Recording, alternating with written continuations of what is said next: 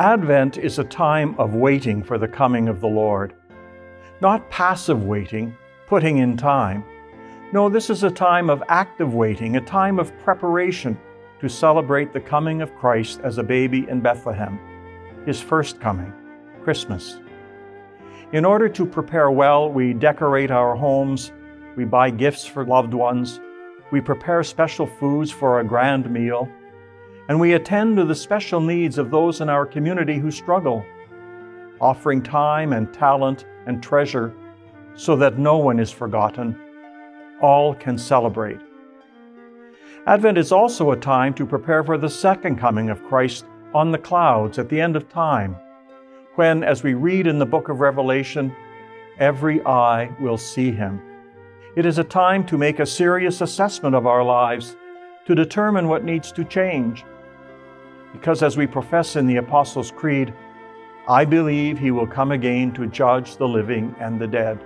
We prepare for this second coming. And Advent is a time to prepare for the coming of Christ into our lives. When celebrating Mass at a local jail on Christmas Eve a few years ago, I was struck by the awareness that the fundamental message at Christmas is God comes to us. He reveals himself to us in a way that we can welcome him. He comes as a baby, innocent, vulnerable, needy.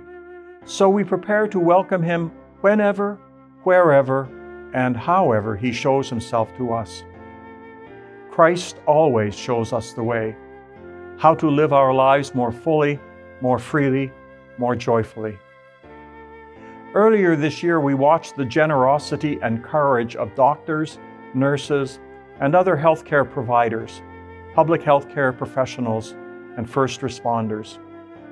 They spent long hours, day after day, week after week, for months to care for people who contracted the coronavirus, while at the same time caring for others with other serious, even life threatening illnesses we saw in that kind of self sacrifice the presence of the healing Christ who gave all that we might have life and have it to the full. During this Advent season, I encourage you to keep your eyes open so you might recognize Christ at work in your community, in the hospitals, in the schools, in your parishes, in the homeless shelters, in the jails, in your own homes. And when you recognize Him, spread the good news. There He is.